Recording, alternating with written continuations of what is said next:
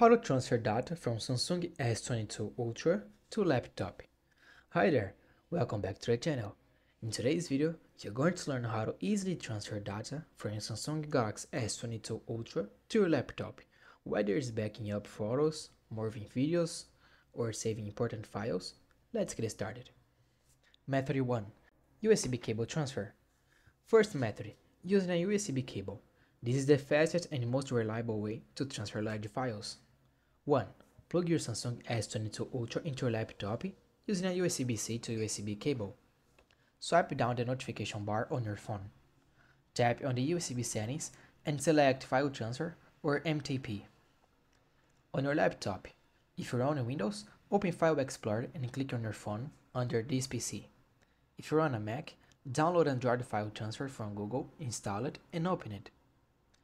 Then, simply drag and drop files between your phone and computer. Method 2. Samsung Smart Switch. Second method. Using Samsung Smart Switch. Great for full backups or organi organize the transfer. Download Samsung Smart Switch on your laptop. Open Smart Switch and connect your phone. Allow access on your phone when prompted.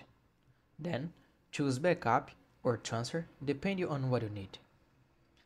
Method 3. Wireless via Nearby Share or cloud. You can also transfer wireless using Nearby Share or cloud storage like Google Drive. Enable Nearby Share on both devices. Choose the file on your phone, tap Share, and select your laptop. Cloud option. Upload files to Google Drive or OneDrive. Access them from your laptop browser and download. And that's it. That was a quick tutorial on how to transfer data from the Samsung S22 Ultra to your laptop. If you found this tutorial helpful, please like the video and subscribe to the channel for more tips like this. Thanks for watching, see you in the next video.